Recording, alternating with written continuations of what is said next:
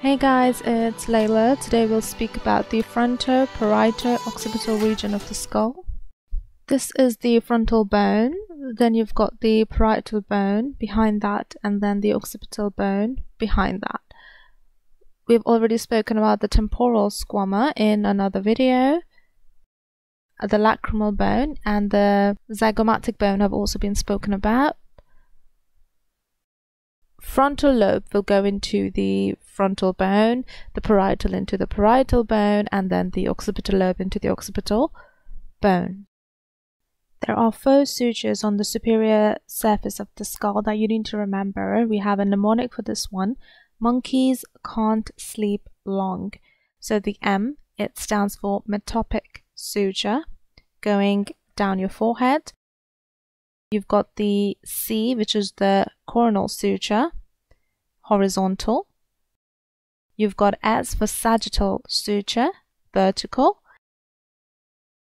And then you've got the L for the lambdoid suture, horizontal, next to the occipital bone. The point where the sagittal suture meets the coronal suture is known as the anterior or the frontal fontanelle and the point where the sagittal suture meets the lambdoid suture is known as the posterior or the occipital fontanelle.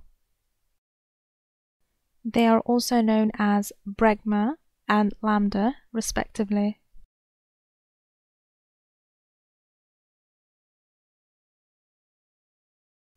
There are two other points. You've got the pterion, which is the point where the frontal, the parietal, the temporal, and the sphenoid bones meet. And this is known as the pterion. Then you've also got the asterion. This point is where the parietal suture meets the mastoid suture. So you've got the parieto-mastoid suture. So once again, MCSL. Monkeys can't sleep long. Metopic, coronal, sagittal, lambdoid. Okay, I'd like you to remember three other structures. So you've got the superior nuchal line, you've got the inferior nuchal line, and then you've got the external occipital protuberance.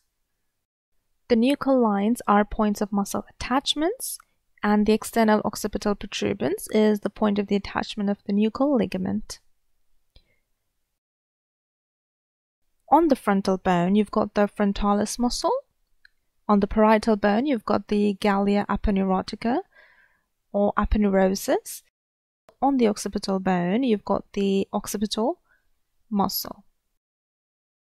Some neurovascular bundles present in the frontal parieto-occipital region are the superficial temporal artery and vein, the auriculotemporalis nerve. You've also got the occipital artery and vein, etc. About the lymphatics in this region, you can watch my video on the lymphatics of the head and neck. Okay guys, that is it for this video. I'll see you in the next one. Take care. Bye.